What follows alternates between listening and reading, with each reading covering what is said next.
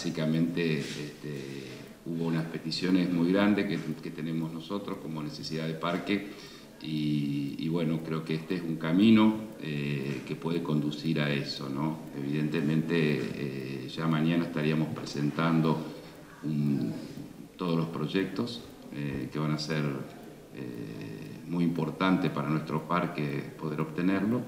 Esto de poder mm, tener controlado el tránsito nos, ayuda muchísimo, es un, es un gran paso.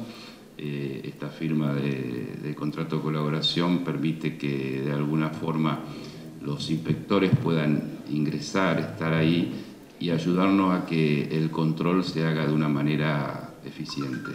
Eh, creo que la firma del REMPI que mencionaba Guille eh, puede, puede traer aparejado el acceso a, créditos, que para eso están estos proyectos, de los cuales rápidamente menciono algunos, pero que tienen que ver con el ordenamiento de, la salida. Tenemos que, cuidar mucho a nuestros trabajadores y una de las formas es justamente cuando salen de, o cuando ingresan, este, hacer una bicisenda con protección especial, eh, modificar algunas de las eh, iluminaciones que están, ya tienen más de 35 o 40 años.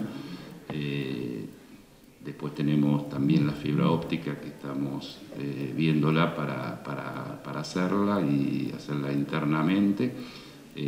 algunas mejoras en, el, en, lo que es todo lo que es el bombeo de, de, lo que es los desagües pluviales y, este, e industriales.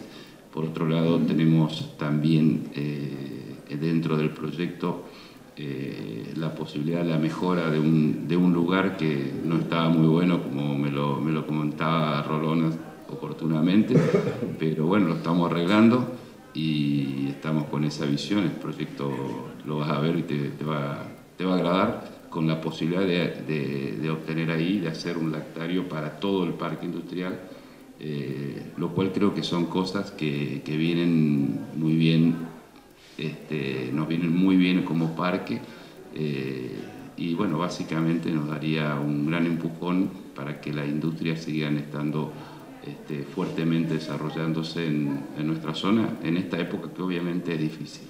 Así que de ya muchas gracias y esperemos seguir teniendo éxito.